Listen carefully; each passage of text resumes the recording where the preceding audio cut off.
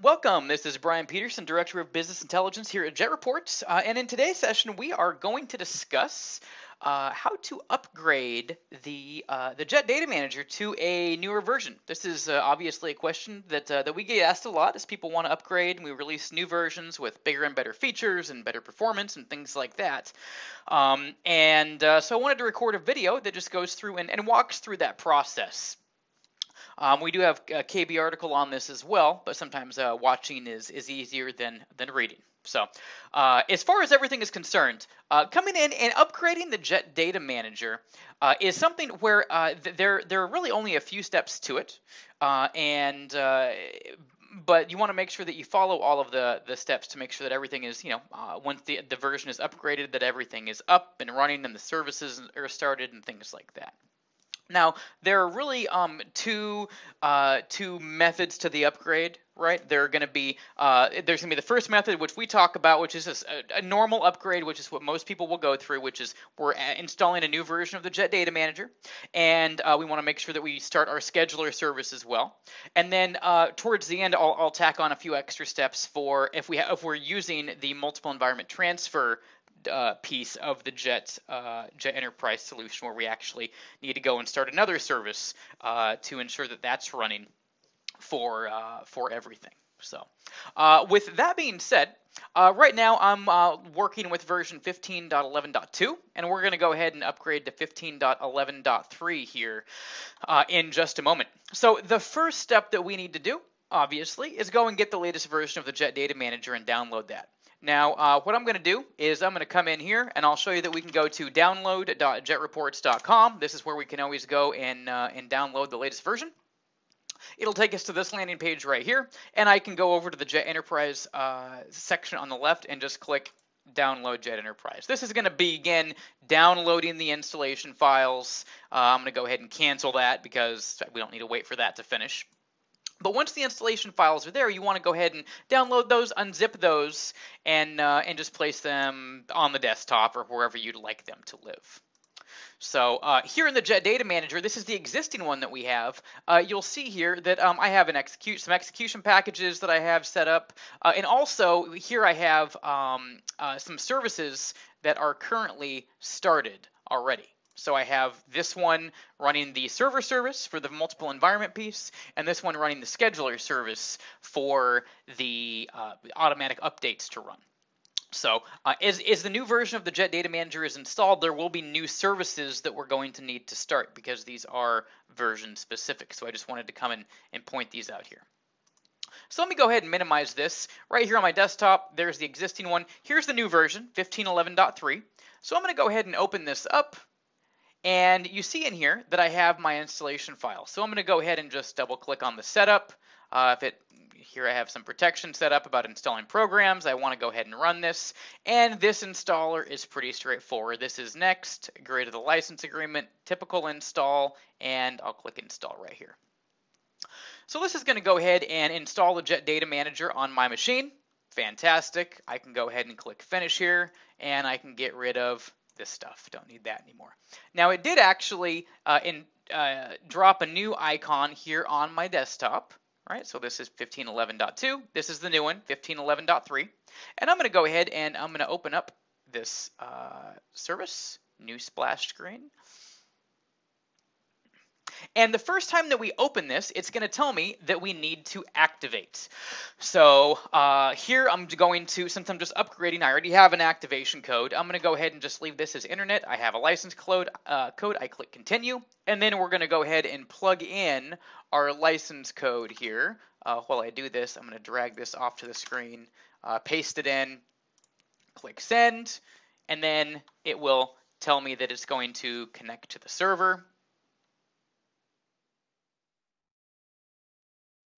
Take a moment to connect and validate, and then it tells me that the license is activated.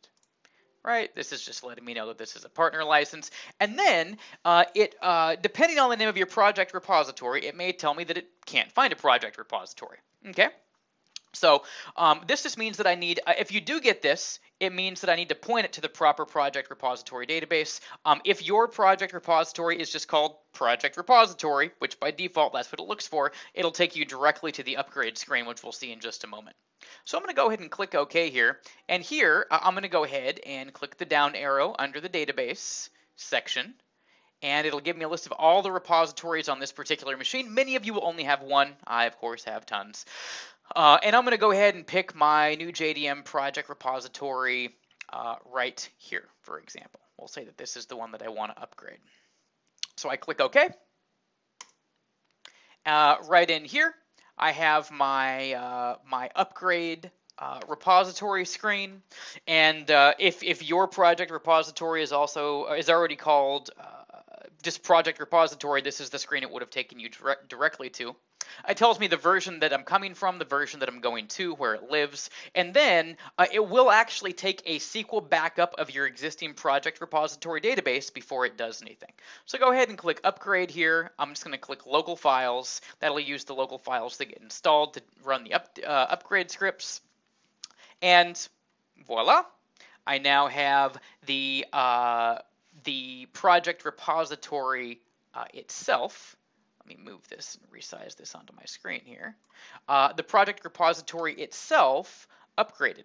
Now, as we saw, if I come back and, uh, and come back to my other Jet Data Manager and here, my old one, I did see that I had a particular service account. If I click on this uh, this little uh, gears icon to pull up my my Jet Data Manager services, I have a service account that I'm using to run these things, right? These services right now, and it's uh, Jet-int, right? Which is not the account that I'm currently logged in as. So uh, one of the things that I will want to do uh, is this. Uh, I do want to come in here and open up the Jet Data Manager as that user one time with the new version. And uh, what the reason for me doing this is that there are some configuration files that get created the first time that we log in as that particular user, and I want to make sure that uh, the, the right repository and everything else uh, everything else is being pointed to. So to do this, I'm just going to come in here. I'm going to go ahead and, uh, and close the Jet Data Manager. And uh, one of the things that I'm going to point to is this. I'm just going to come over. Here I have my PC, and I'm going to go to uh, C program files, depending on what version of the Jet Data Manager you installed. If it's the 32-bit version, it'll be under x86. If it's the 64-bit version, it'll be under program files. I installed just the 32-bit version, Jet Data Manager Server. 1511.3, this is the version that I'm going to run. And again, the, the point of me doing this, I'm going to run this once as that service account user to make sure that all of the necessary configuration files have been created. Uh, and then I can close it and just uh, really just use it as myself. So I'm just going to uh, shift right click. I'll say run as a different user. Uh, here I'll just type in that, use, uh, that service account that I'd created. Type in my password. Click OK. And now it's going to actually open and launch the Jet Data Manager as that particular user. And you see here again that it says the repository settings aren't valid. Well, didn't I just get that a minute ago? I did, but that was with my actual user account, right? So this particular user account didn't have any knowledge of which repository it should be using. So uh, in here, I'm going to go ahead and uh, point to my development project, or sorry, my production project, which is this one. And I'm going to go ahead and click OK. What that did uh, is that actually came in here. If I look in app data, I'll just show you what this looks like. Under Jet Data Manager Server, I can come in here for my particular user, all of the different versions, and I can see in here that I have this config file. And if I edit it, stored in here is basically the repository that I'm connecting to, right? So by opening the Jet Data Manager as that uh, as that service account user, that config file gets created for that particular user, and I know that all of my services are now going to start properly. All right. So uh, what I'm going to do, I can go ahead and close out of this altogether, and I'm going to launch this one more time. So I installed the Jet Data Manager. I opened it just as myself. I could have opened it as the service account, but I opened it as myself uh, just so that I could uh, come in and upgrade the repository database, um, which I did. and then I logged in as the service account so that all the configuration files got set up. Now, one of the things that I need to do here is this. Uh, I need to come in here, and I actually uh, want to come in, and I'm going to come in and uh, open up my Windows services, and you'll see here that right now, the services for this particular version are stopped. There's no username or any of this. So I'm going to edit this. Right, I'm going to change this here. I'm going to right click on this. I'm going to go to change username and password. This is where I'm going to use the account that I want to uh, start this service with. I'll click update and it tells me that those have been updated. I'm going to right click here. I'm going to change the start mode to be automatic uh, delayed start. And I'm going to go ahead and right click here and start the service. Right, so that service for the server service is now running. Right, so uh, that's only necessary, again, if you have multiple environments set up. If you only have one environment, that service isn't going to start, and you don't need to start that particular service, right? The scheduler service is the one that most people are uh, are going to be uh, concerned about. So right here, change username and password. I type in the username. I click update. I'm also going to set this to run automatic delayed start. I can right click and say start service. And now this service is started as well.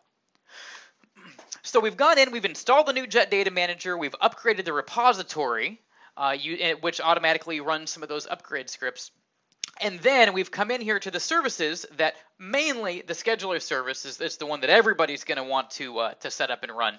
And then if you are using multiple environments, for example, development and production, things like that, where you have the multiple environment transfer set up, um, you'll also need to make sure that the server service is started as well. Uh, if you, uh, once this is all done, I'll come back and show you something else here in just a moment. With regard to the multiple environments, this is the piece that I was referring to um, right up here. So if we have this, uh, if we have this set up where we have the, you know, environment properties and things like that, then um, then uh, that's where we'll want to have, make sure to have the server services started.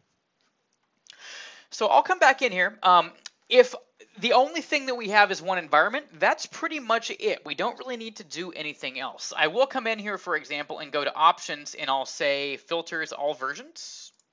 Right? This is going to show me all of the Jet Data Manager services that are running on this particular machine. And so for those of you that just have one environment, uh, you can now come in and, um, and take the old version. Right? I would usually come in and just change the start mode to be disabled. Right?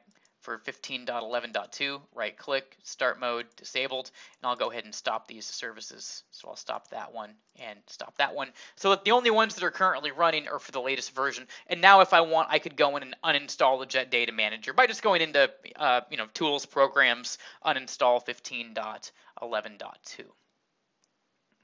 Uh, for those of you that are using multiple environments, one more thing that we need to do is we need to make sure that we also upgrade the development environment. What I've gone through and done is just the, the production environment as you can see right down here. So for those of you that just have one environment, you probably don't need to watch the rest of the video. Um, for those of you that have multiple environments, I'll go ahead and just cover that right now, which is, again, a very easy, uh, I can just go to Tools, General Settings, point it to my production, or sorry, point it to my development environment right here, right? Click OK. And it's the same thing. Since these are two different project repository databases, uh, then there, there are two databases, uh, project repositories that need to be upgraded. I come in here, I click Upgrade, I pick Local Files, and what this has now done is this has come in and upgraded both my development environment and my production environment to the latest version. I can come in, open up my project,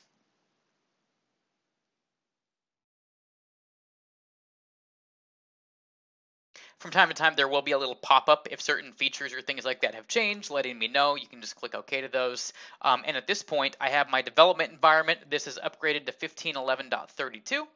I can take a look at my services on this particular machine. Both my server and scheduler service are running. The scheduler being the one that controls the regular updates, uh, and the server service being the one that, tra that uh, transfers everything from development to production. Now, if I wanted to come in and, uh, and illustrate moving something from development to production, again, I can just come up here. I can go to my multiple, multiple environment transfer piece, click that, it'll connect my environments. I have development, I have production, and then I have the software version 1511.3 and 1511.3 down here. So both of my environments have been upgraded to the latest version of the Jet Data Manager. I hope that you found this video useful and we hope to see you again in a future session. Take care.